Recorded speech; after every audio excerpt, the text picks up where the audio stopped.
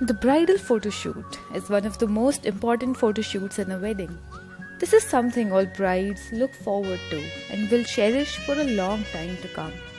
So, a bride must remain calm and maintain her grace because that's what makes a bride unique. After all, it's her moment.